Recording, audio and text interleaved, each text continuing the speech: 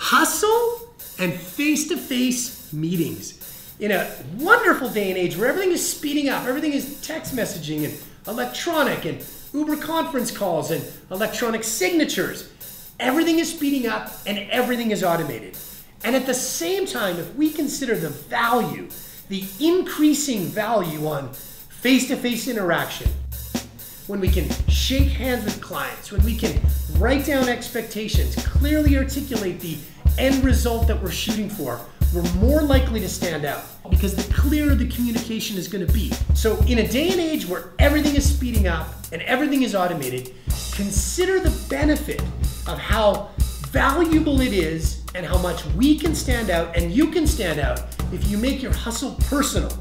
And that is what will make our hustle better than just technology.